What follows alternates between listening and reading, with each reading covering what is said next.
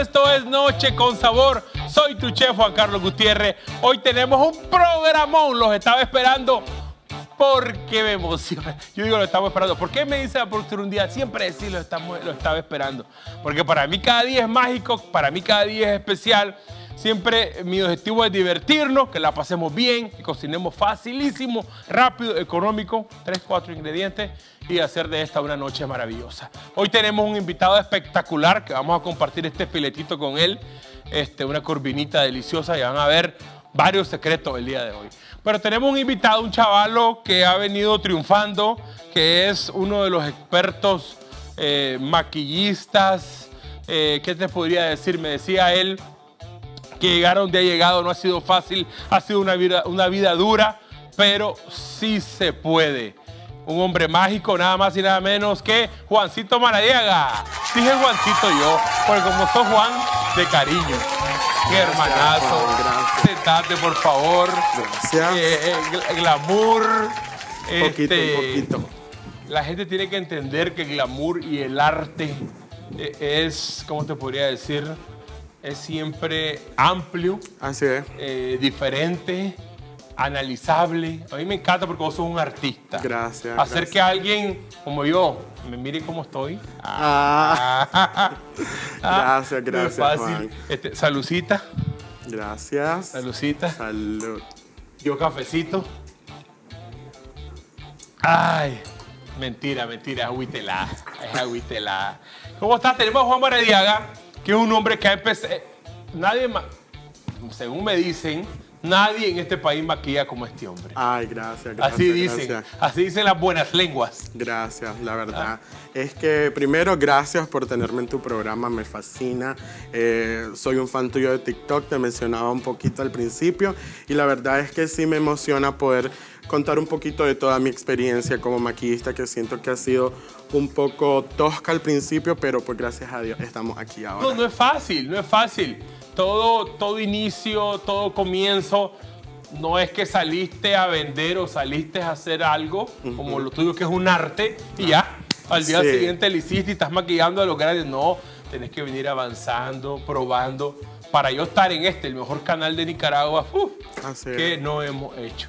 Sí. ¿Te parece, Juancito, que primero le digo a toda mi gente bella en casa que apunte la receta? Correcto, correcto. Para que todos estemos empapados de lo que vamos a hacer y después seguimos platicando. Ok, perfecto. ¿Te parece? Por favor, apunte, tómele foto. Es sencillita, como siempre le agrego un secreto, pero es sencillita. Por favor, apunte.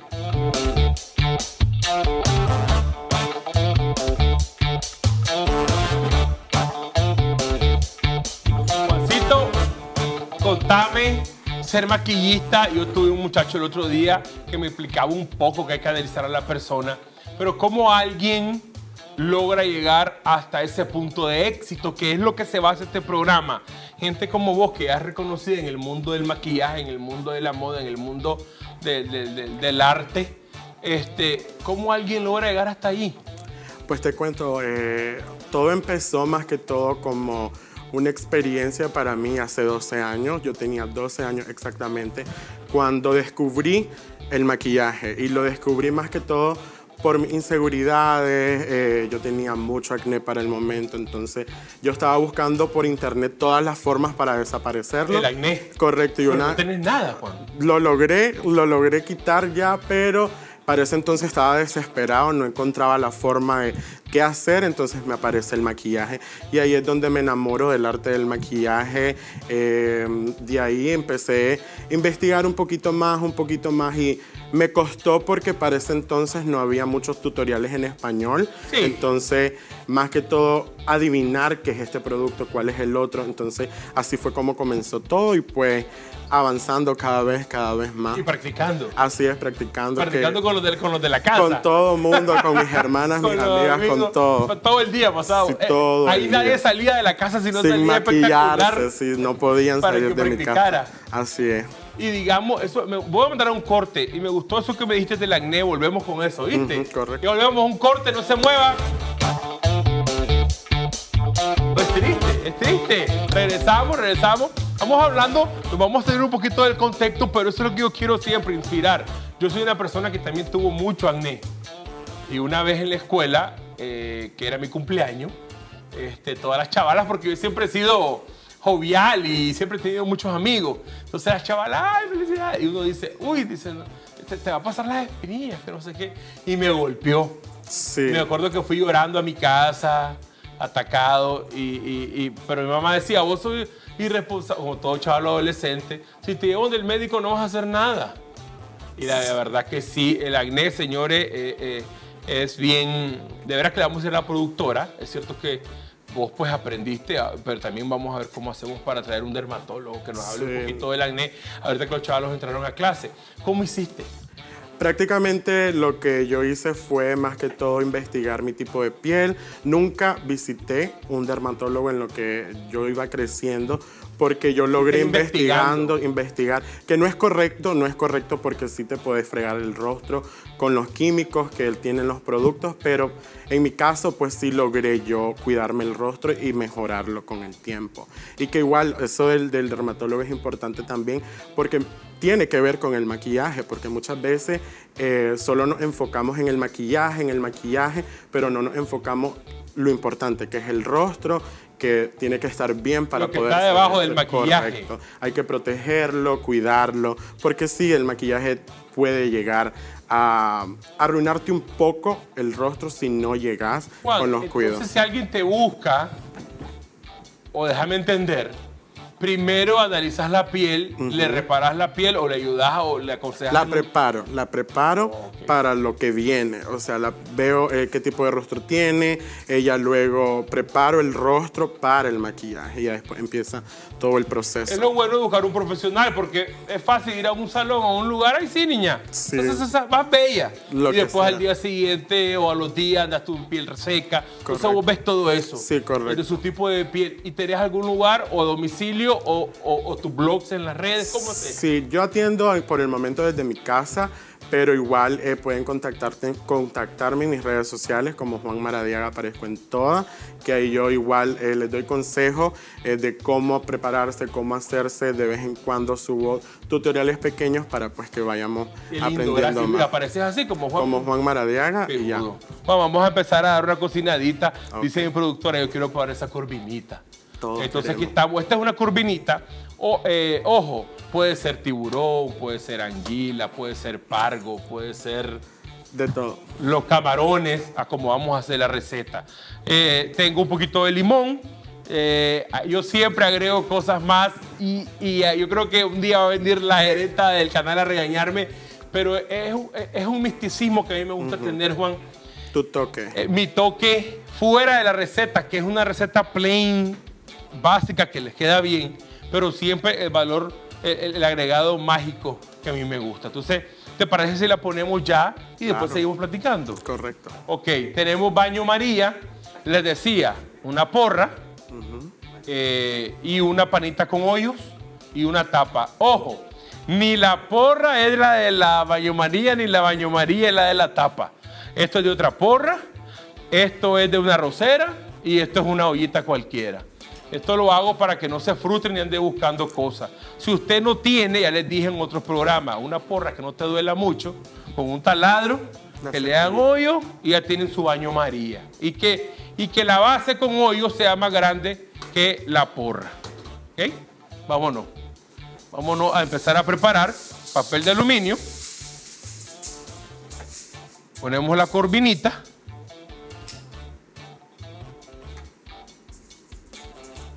Ponemos la corvinita y vamos con las especias. Un toquecito de picante. Apenita, apenita. Pra. Pimienta.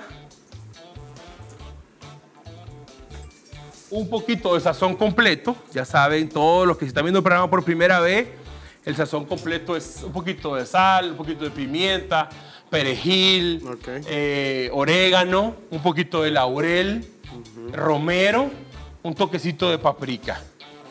O compran cualquier sazón completo en cualquier lugar. Romero.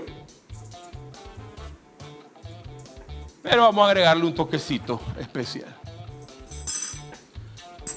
Voy a ir haciendo para que no se nos, se nos salga.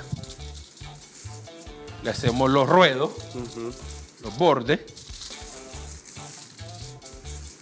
donde va a encajar el otro papel.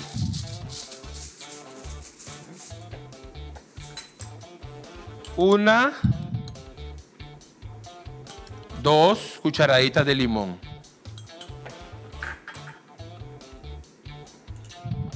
Una, dos cucharaditas de, tres cucharaditas de vino tinto.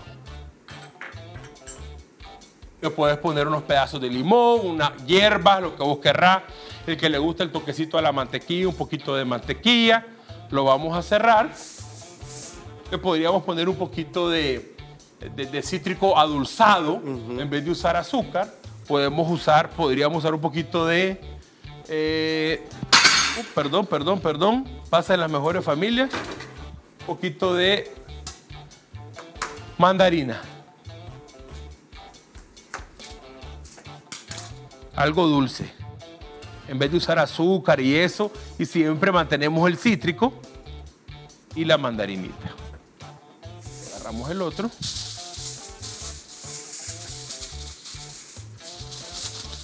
Hacemos lo mismo. Los cuatro ruedos. Y prensamos.